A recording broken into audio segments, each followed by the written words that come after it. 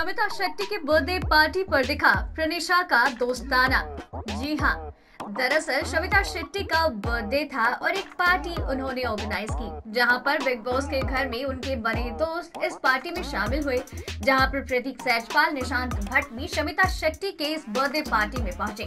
और इन लोगों ने एक साथ में काफ़ी ज़्यादा इंजॉय किया। और यहाँ पर सविता शेट्टी रेड अटायर में बेहद खूबसूरत नज़र आई। तो वही प्रतीक सैजपाल और निशांत भट्ट अपनी इस प्यारी सी दोस्त जो वो ओटीटी में मुलाकात हुई की और 15 के दौरान गहरी दोस्ती हुई। तो ये तीनों एक साथ नज़र आए, जहाँ पर निशांत और प्रतीक सैजपाल, शमिता शेट्टी को एक साथ किस करते दिखाई दी।